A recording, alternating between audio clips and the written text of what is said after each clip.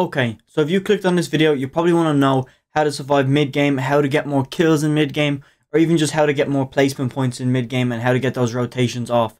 I got you covered with everything in this video, and we're going to break it down into three parts. Part one is going to be how to successfully win fights, because it's okay winning fights, but sometimes it can leave you at a loss, whether it be materials, health, ammunition, or even just zone time, because, you know, zone's on your back, then you're forced into another fight, you know, that you don't want to be in and you know the fight I'm talking about, the one when you're on the edge of the zone, there's a guy in front of you, you want him to rotate, and what does he do? Turns around for some reason and starts beaming you, and it's just like, man, just rotate. We're both gonna die now. And there's players like that all the time, man. So you gotta, you know, successfully win those fights. Part two is to get more kills and end fights faster, so it's really zoning in on that.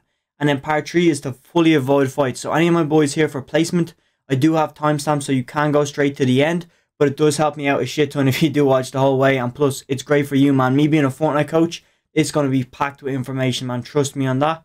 And obviously, mid game for me, like understanding mid game is zone three and four. Anything before that is early game, and I will leave a playlist at the end that will help you out a shit ton on early game. And then next week, I'm going to be doing end game, so it is worth subscribing. So let's get straight into this video, man. Let's start off with part one. Okay, so you made it to part one of the video, and what we're going to be talking about is how to successfully win fights. Very simple, very quick, very clean, just a few bullet points. Some of you boys will know some of this stuff, but hopefully I'm explaining it in a way that it makes it a lot more clear than every other YouTuber man, because that's my job. I'm a coach, I'm trying to give out as much information as possible. So let's start off with, you should start fights from about 20 to 50 meters away, okay? Now that seems very basic, 20 to 50 meters away, that's a nice window to start a fight from. The reason why is that you notice some people, and you've probably had teammates like this, they start fights from too far away, and some like teammates start fights from too close away. That one is more or less done, but people start fights from too far away. You can shoot at a guy from like maybe let's say 60, 70, 80 meters in that range, okay? And you can hit him four, five, six times, even two double dinks, man. It doesn't really do anything. It, it, it means he has to stop where he is and start healing but in trios and duos, that doesn't mean shit because his teammates are just going to suppress your team.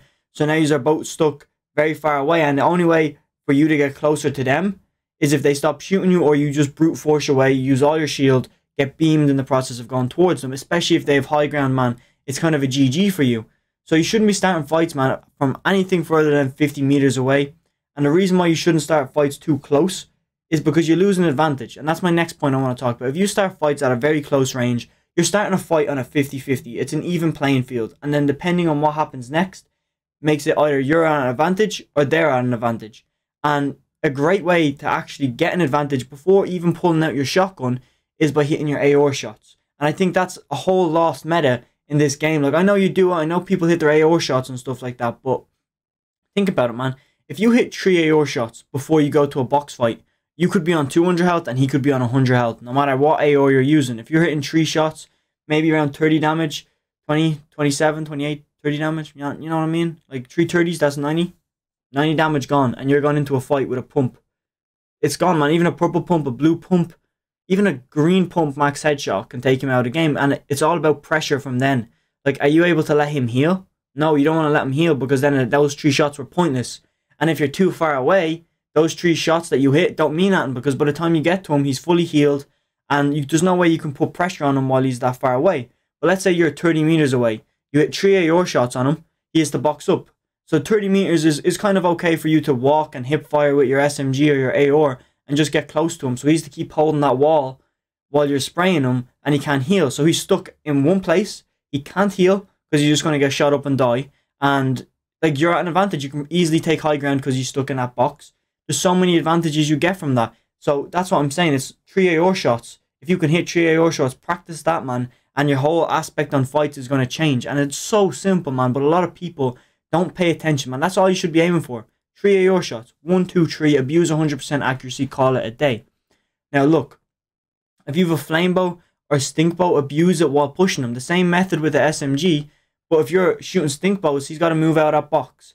If you're using flame bows, he's got to move out of that box and then he has to swap the hards. What do hards do though? When you're building out of hards, and let's say you shoot him with a stink bow, or no, example, flame bow, you shoot him with a flame bow, he has to move to metal. Okay, he could move to brick, but let's just say he moves to metal. Metal then you pull out your SMG, spray metal because it takes so long to build. The pressure is unbelievable if you're just conscious enough and aware to pull that off in game. And then get really, really good at box fights and piece control because it ends fights so much quicker and that's going to save you materials. If you're saving materials, it means you don't have to end that fight, go off and start farming. You get me? So the whole game is just more fluent by you sticking to box fights, okay? And look, piece control is very, very popular. It's very, very must need. So I did make a video last week on piece control that I will also like put up on the end screen. So when the video is over, you have something else to watch, man, and it should help you out a shit ton. Most of my boys that are watching this video probably seen it, but if you're new here, man, that will help you out a shit ton, man. Okay, let's move on to the next part, man. Hopefully this is helping you. Hopefully you've hit the like button, maybe the sub button, but let's go, man. Let's keep going. Okay, so in part two, what we're going to be talking about is how to get more kills and then end fights faster. I touched on it a bit last time, but I'm going to be talking strategies. I'm going to be talking rotation methods, so please listen carefully. You should be playing edge zone because there's more W keys. And there's more W keys on edge, that means more kills for you. So this is obviously talking about kills right now. Again, I told you boys are here for placement that that is at the end. So we're talking strictly about picking up some nasty amount of kills right now. The reason why W keys are on the edge is because more than likely they do get caught up in fights on the rotate in because, you know, if they go and fight somebody, they get the kill. They go fight another another somebody, but that person's a little bit better. That means they're stuck fighting them until one wins. And let's say they win, then they've got to rotate, but they're rotating late. So then they come in out storm, or even they come in and they just box up on the edge. That's usually where your W keyers will sit. Now they are better players because they are W keyers, which means they're confident players. So regardless of mechanics, they're confident. So you need to be going in there with a higher level of confidence and hopefully a higher level of mechanical skill. But even if you don't got that, man, the confidence will 100% make you win that fight. So again, applying the methods I said earlier of those 3 AOR beams, and obviously if they're boxed up, you might not be able to get those 3 AOR beams off. But what you can do is, unless you can sneak up on them and get straight into a close range fight, take it to a box fight, you don't want to go cranking. And it is good though, if you do have to go cranking, you're on edge zone, which is much better for cranking. Um, but it does get very, very worse on the next zone, going into zone 5, 6, and then your half and halves. Don't be building, don't be cranking. That's a different video. Again, that's next week's video for end game. This is mid game, and last week we did early game. So again, hopefully that is making sense. And you should be rotating through POIs and hotspots, even boxing up there. So an example I want to give is imagine Lazy Lake and the big building. That always tends to be in about third or fourth zone for me as well, just every now and then. And that the that's a high building, you get me? So that's a popular building. If someone's rotating in, they'd be like, hey, that's high ground, let's take it. So you want to actually be taking high ground positions because high ground positions are looking like popular positions. So it's like, hey, that's high ground. And let's just say the average player is like, I like high ground. That's and that's you know that's what's meant to happen. They just know the basics. They don't know why the high ground's important. They just like taking it because everybody talks about it. So they go and take high ground, and you can go up after them. You can be there before them, but it's just a great way to pick up a free kill because sometimes people do be rotating to those hot drops and the POIs and stuff like that rotating through trying to get loot. And even if they're shambles, man, they might go in there for some materials or to box up in a basement, especially in those lazy lake basement houses um, that are beside each other, man. I always see people boxing up in there. Definitely not me that boxes up in there when I'm having a bad tournament or a few bad arena games. But look, regardless, man, hotspots, play for high ground as well if you're looking for kills. High ground on edge zone, so you're comboing what I just said about W keys on edge, and you're taking high ground, which is like just in- instantly increases your odds of um getting kills. And on top of that, if you're on high ground, you have a great view of the, the next zones coming in, and you know where a dead side is. You know so much more information, which allows you to make a lot more plays. So hopefully you're getting a lot of information from this man. I'm dropping so many gems right here, and keep it a box fight, man. Like I always said, keep the box fight because again, going into those edge zones, you don't want to be cranking because everybody's going to see you cranking, and everybody I don't know anybody that looks at someone cranking and doesn't think free kills. And then when you have three or four people doing that, it's not even a third party. It's just three or four. It's just a shit show. And the person who does come out there comes out with a shit ton of kills. But it's usually the person who goes in there last and burns it all down. Shoots it with a flame bow. GG's to you. Okay, don't be doing that shit. We're going to move on to part 3, the last part of the video, which will help you a shit ton, man. Okay, boys, if you're new here, I am going to have to ask you to hit that sub button, man please. And it's not for my numbers to go up. You know, boys, like numbers are important and shit like that. But what's more important is impact and how much I can help you not only in Fortnite but with your mental, with confidence. And that's what I'm trying to do out here, man. I'm trying to go way bigger than Fortnite. So please, man, allow me to help you by hitting that sub button. Put those post noties on if you want to. And let me know down below in the comments if you subscribe, man. I'll get back to you, hit you with a thumbs up. You know I got you covered, man. So let's go into part three. I don't want to take too much time promoting myself, man. But let's go. Let's give more information. Okay, boys. Time has come for me to talk about all those boys who want those placement points and just want to chill out, man. They don't want to fight. They don't want stress. Mainly, I'm, I have to say this, man, because I am that player sometimes too. It actually is down to confidence and your own mechanics. But the thing is, that's okay because you realize your mechanics aren't up to scratch. You realize everything else. Or maybe you just actually want to play, you know, passive. Maybe that's just your play style. For arena, for tournaments, maybe that's just how you play. I have nothing against it, man. Play passive the whole early game. Play low risk. Get those placement points and slay out in the end game. I've nothing wrong with that, man. So that's why I want to help you boys out too, because I understand that I am that player as much as I would like to be a W Keen absolute crackhead, but I'm not. Let's move on.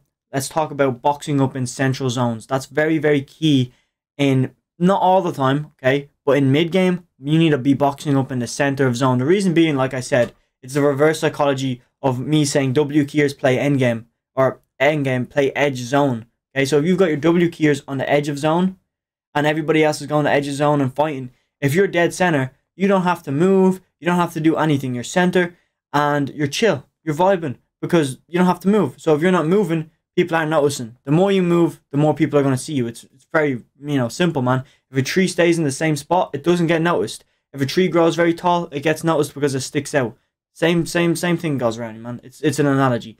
But moving on, boxing up central is key because you're avoiding those W keyers because they're playing on the edge. And then at that, you can rotate early from spot to spot because you're central. You have a greater chance of getting the good zones if you get me. But you don't want to be boxing up on high ground and not low ground either, just a nice spot. The reason being is, like I said earlier, a high ground is a hot spot, and I've noticed that that you know most players are copping on, and it's actually a very big shift in the meta that high ground, like boxing up on high ground. I don't mean taking high ground and moving zones. I mean boxing up on high ground, in solos especially. I think it's okay for duos and trios for now, but a lot of players have copped on and are becoming so much smarter that they play high ground, and it's not just like, oh, if you play high ground, you can definitely make it to end game and stuff like that. If you box up on height and get a few beams, it's not like that anymore, man. High ground is actually a hot spot where a lot of people tend to go because they look up. That's a good spot. I can see the whole lobby. Let's go there. And even you know that's just their average player. You have the semi pros, the pros. They're all doing that shit too. So if you want to avoid people and get your placement points, that's not where you want to be.